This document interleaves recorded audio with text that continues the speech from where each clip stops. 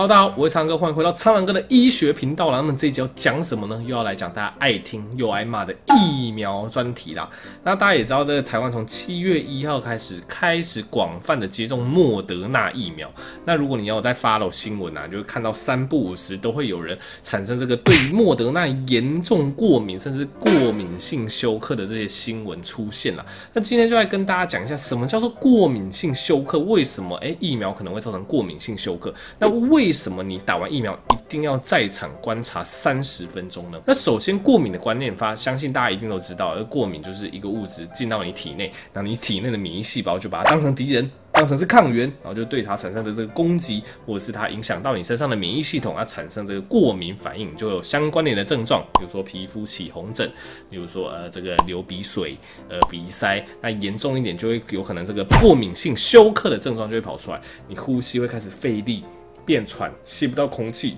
低血压，甚至最后就休克死亡，这都是有可能哦。那什么样的状况可能会造成所谓的过敏性休克呢？这相信大家多少都有一点点 background 的这个知识。例如说，哎，你可能被虎头蜂叮到，或你被蜜蜂叮到，大家都有听过说，哎，你被蜜蜂叮，可能要小心严重过敏，甚至是过敏性休克，因为蜜蜂那个毒素啊，可能会让你身体起非常严重的过敏反应。那再来啊，有些人对特定的一些止痛药。或是抗生素过敏，哎，一吃止痛药，一打这个抗生素，哎，有可能产生立即的过敏性休克，这都是有可能的。那过敏性休克它的机转是怎么样的一个状况呢？首先，这个抗原吼进到你体内之后，那你体内的 IgE 对针对这个免疫抗原的这个抗体啊，去结合之后，这个 IgE 就会去启动你全身所有的这个肥大细胞啊，或是嗜碱性球啊这一类相关的免疫细胞。那这一类免疫细胞就会大量释出所谓的组织胺这一类类似的免疫介质，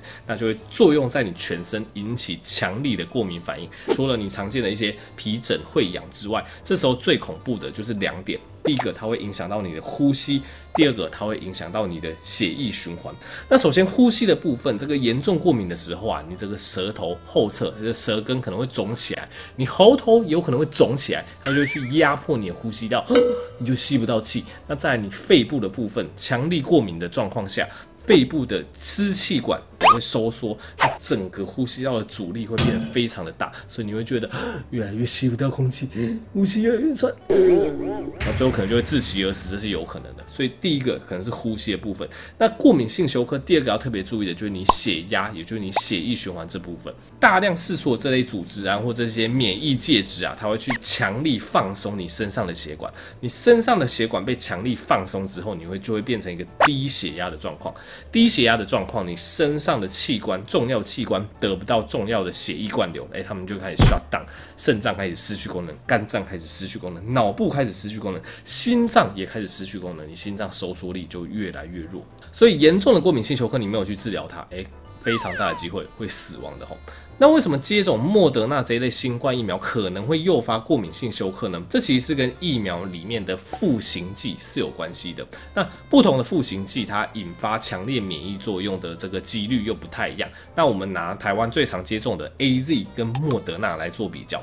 ，A Z 它的赋形剂是所谓的 Polysorbate。对它的中文叫做什么聚三梨醇酯之类的，这不重要。总之，A Z 它疫苗使用的复形器是这个。那莫德纳或辉瑞 B M T 这类 m R 疫苗它使用的复形器是 P E G 两百这个成分。那根据统计，后者所引发的免疫反应或是过敏反应，其实是比前者还要强的。所以，如果你即将要接种疫苗，记得接种完一定要观察三十分钟，因为刚刚讲的这些，哎，起皮疹啊，然后开始喉头水整、呼吸困难、血压下降，然后开始啊晕眩、意识不清这类严重过敏反应的症状，通常都发生在三十分钟内。所以你在在场观察三十分钟的这一段期间内，如果真的有相关，症状，那医护人员会赶紧帮你处理。那如果比较轻微的一些过敏，可能使用一些抗组织胺、一些呃抗过敏的药物就 OK。但如果是刚刚讲的那种严重过敏性休克的表现，呼吸困难、血压下降，这时候就要赶紧使用救命神药，就是所谓的肾上腺素。这个肾上腺素要赶快以这个肌肉注射的方式给予啊。那肾上腺素它可以同时去刺激你身上的阿法受体跟贝塔受体。那刺激阿法受体之后呢，它就可以让你那个。扩张的血管赶快收缩，哎，你血压就会被拉上来。那刺激贝塔受体有两个功能，第一个功能就是它可以强心，对，加强你心脏的收缩力。那第二个，它可以放松你的支气管，让你呼吸更加顺畅。所以这就是为什么严重的过敏性休克要赶快施打这个肾上腺素，这个是救命神药吼。那最后就是，哎，如果你真的有比较严重的过敏体质，那你的疫苗到底要选哪一种？那其实根据统计，不管是哪一个组别。发生严重过敏的机会都很低，所以并不是说，哎，你如果有对某些东西过敏，你就一定只能打某种疫苗，不能打另外一种。其实不是这么说，但是记得打完每种疫苗之后，一定要在场观察三十分钟。如果有刚刚讲到的那些症状，一定要赶快请旁边的医护人员帮忙，这样子哈。